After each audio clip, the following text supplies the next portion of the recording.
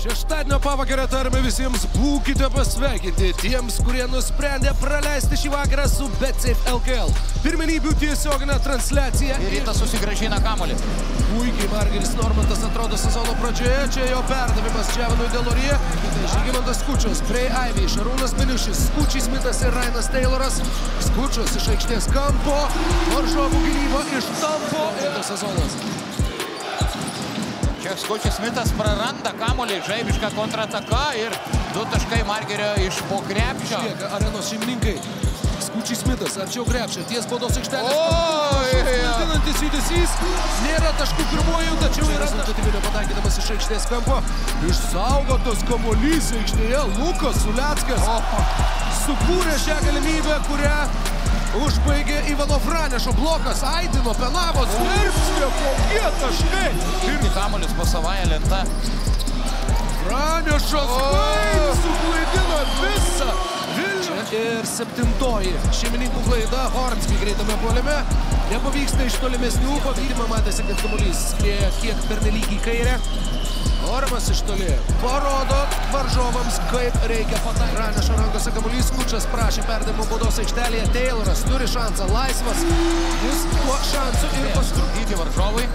Aštuntas Delorie taškas, ketvirtas Ardžiai Kaulo rezultatyvus perdavimas. Aidžiai, kokia sudėtinga aukšto trajektorija. Beniušio užtvara, Aivi.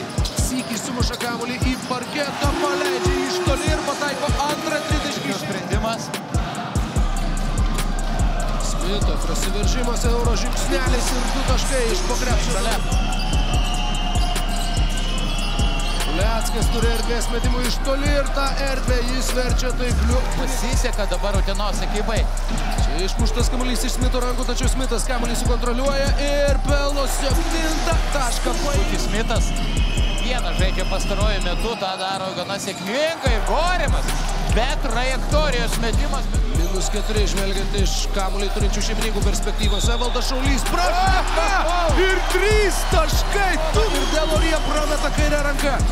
Įspūdingai, įspūdingas Sederevičiaus šuolis. Au, tu ką tik tai išpranašavai. Prameta iš po krepšio Delorija sutikė antrą šansą rytui. Goramas turi erdvės, laisvas iš toli.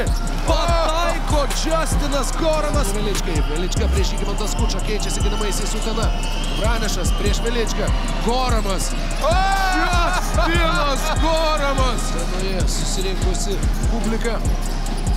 Smito prasiveržimas, pražanga Pleikiui. Linė. E, Normanto užtvara, ispaniškas pick and rollas.